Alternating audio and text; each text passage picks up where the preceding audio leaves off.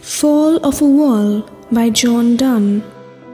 Under an undermined and shot bruised wall, a too bold captain perished by the fall, whose brave misfortune happiest men envied, that had a town for tomb his bones to hide.